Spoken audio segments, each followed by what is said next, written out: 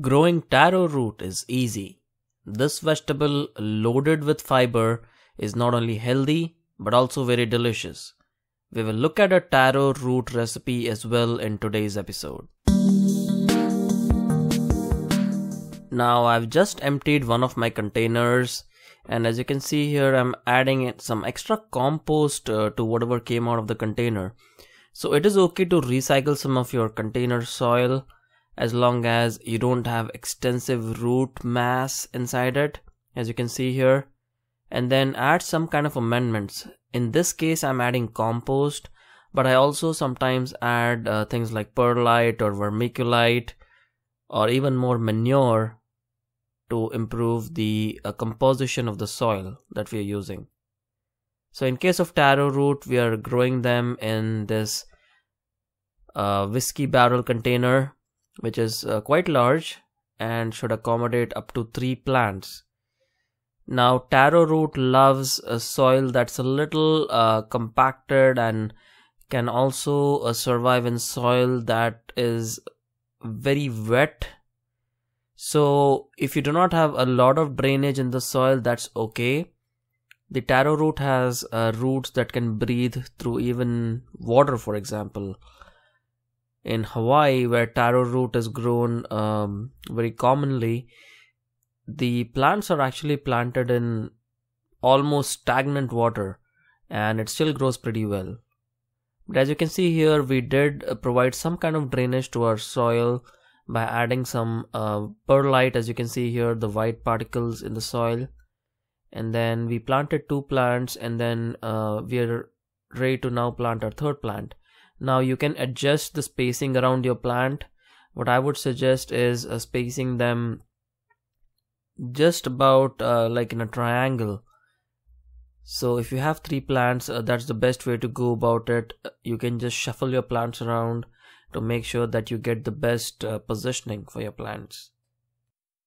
And taro root being a tropical plant loves warm weather. So we planted ours in May and in June you can see that all these three taro root varieties by the way you can clearly see the difference in all the varieties. One has purple stems one has green stems and the third one has green stems with a slight purple tinge.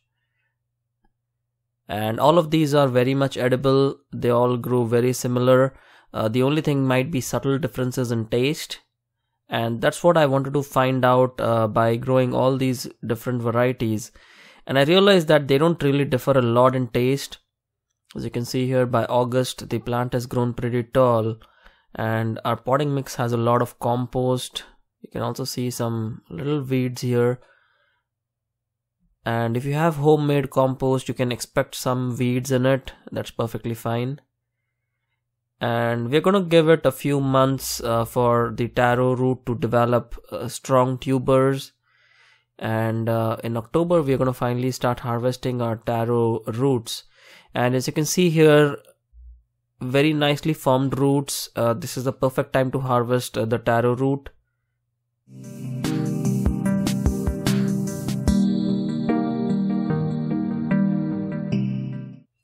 And uh, taro root is a nuttier tasting vegetable compared to something let's say like potato so if uh, you do not like potatoes or your kids do not like potatoes, taro root is a good option. It tastes a little nuttier, it's denser, it also has a lot of fiber, and uh, we enjoy eating taro root a lot.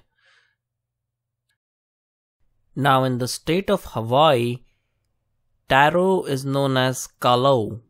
I hope that I got the pronunciation right, but it's called kalo and it's used to make something called poi, which is a popular uh, dish in Hawaii.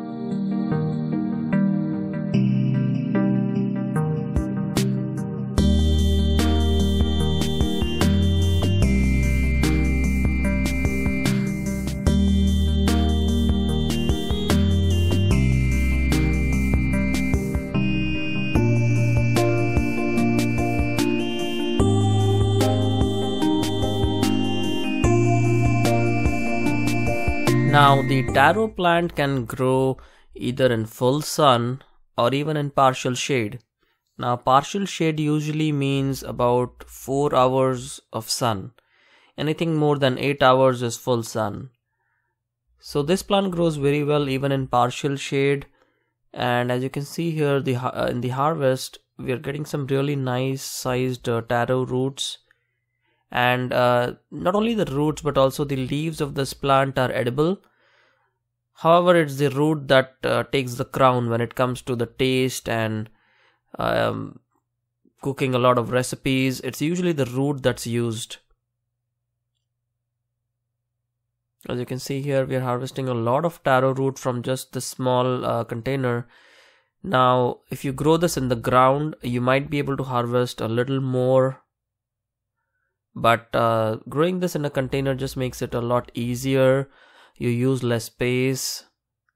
And uh, you get a lot of leaves as well as roots using this method. And as you can see here the taro root plant uh, grows a pretty dense root system as you can see here. We're still harvesting the tubers that are attached uh, to the sides of the plant. Some of them can even be regrown and as you can see here the root mass is uh, pretty large and uh, what you can also do is uh, once you harvest this main plant you can actually replant the main plant for the next growing season and it should produce uh, some more taro root. Now I did try out this method and it works really well. All you do is just take the plant and then just plant it again. However, you also need warm temperatures. So if you're in an area that has warmer temperatures even in the next uh, growing season, you should be okay. So places like zone 10 in Southern California, you should be okay. But if you have cooler weather, uh, taro root the, or the taro plant uh, doesn't grow very well in uh, cooler weather. So you need to make note of that.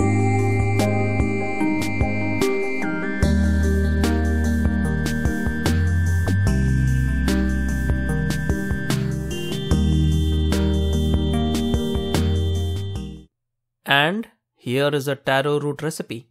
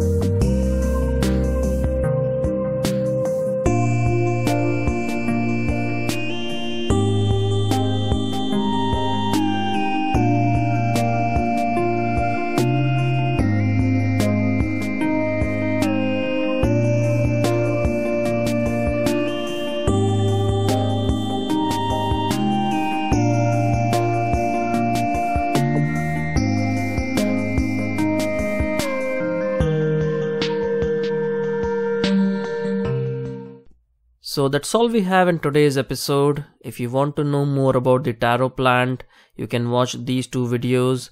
The video on your left will give you some tips on growing the plant as well as a harvest. And the video on the right will show you some of the differences of growing this plant in containers versus raised bed. We'll see you again soon. Happy gardening.